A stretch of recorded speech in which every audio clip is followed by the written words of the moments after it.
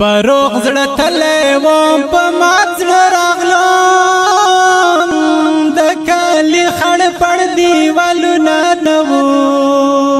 ملګرو ډېر پزړه غم جان شو مزه هغه حجرې او جومتونه نو پروغ زړه تلې و په مات زړه راغلو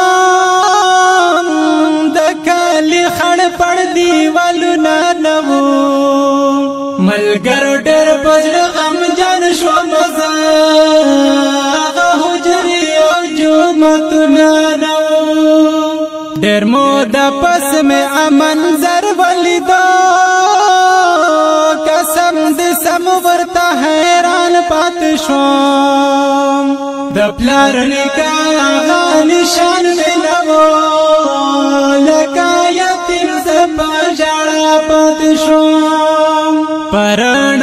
مې هیڅ ګونه لیدل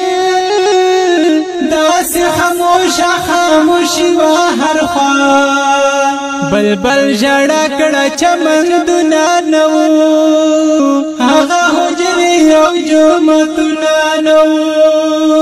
پروغ زړه تلې وام په ماتل راغلم د کالي خړ پړ دیوالنا نو ملګرو ډېر پزړه غم جان شو مزه هغه حجرې یو جمعت نانو د ښکلا ګانو رنگینو وطنو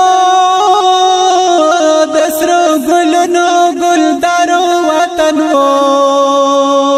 نن د خزان سیلې وهلې ښکاری لکه جنت خوشالو وطنو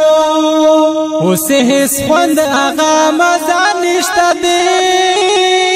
لکه پخوا چې د کتو وطن و پلاره تر شنګو درونه نو هغه حجرې او جومتونه نو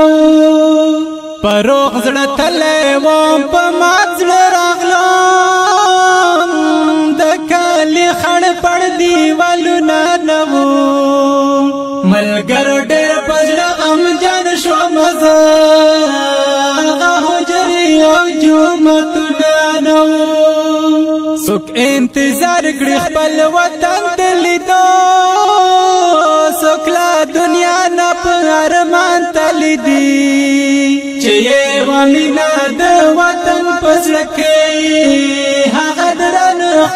مشران تلی دی نن لوٹی لوٹی کنڈوالی اخکارگی سوکی آباد کڑی آزوانان نشتا دی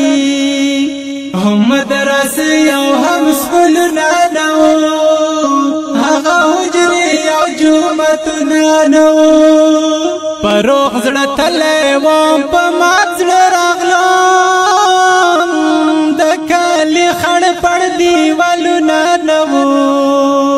ملګر ډېر پزړه غم جان شو مزه هغه حجرې او جومتونه نه وو رب دوران وطن آباد غواړو ما د هر ظالم نه په امان غواړو ما بس نور درد زغم لې نشم الیاس د غم جړا کولای نشم خپل وطن کې بیا سره پرات یو ډېر د کلونو د مود پرات یو الیاس تل ته خوند لانو هغه حجري او جمعت لانو پروخ زړه تل و په مات راغلو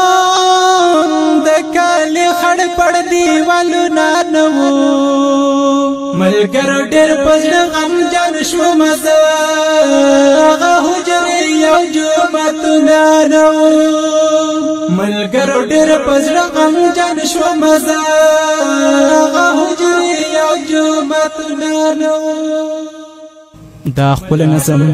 په आवाज را نشل د جناب الیاس مدهوش او شاعر هم ستاسو الیاس مدهوش والسلام